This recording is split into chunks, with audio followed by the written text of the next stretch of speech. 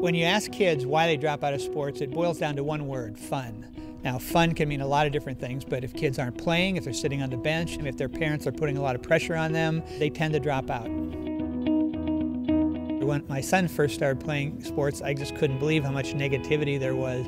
70% of the kids who start out playing sports drop out by the time they're 12 years old. Kids drop out of sports in droves because of a nasty, snarly coaching style that really comes from a win at all costs mentality. Coaches are so obsessed with winning that they overlook the opportunity to develop better athletes and better people.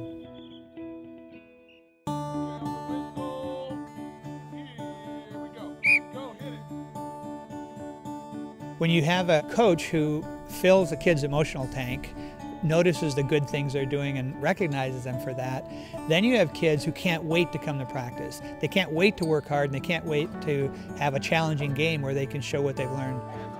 Positive Coaching Alliance is a nonprofit with the mission to create a movement to use high school and youth sports to develop better athletes, better people.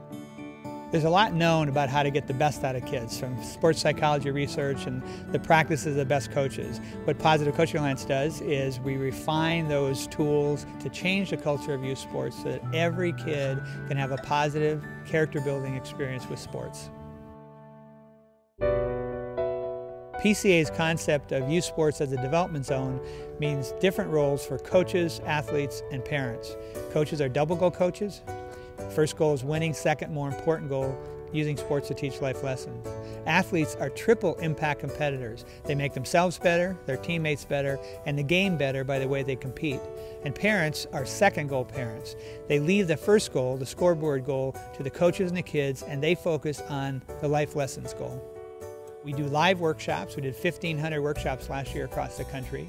We do online workshops. We had 50,000 coaches go through our online workshops. Last year, for the first time, we reached more than a million kids through our workshops. And there are 40 million kids any given year playing high school and youth sports. It's an incredible opportunity to build better athletes, better people, and produce the ethical leaders and the positive contributors our society so desperately needs.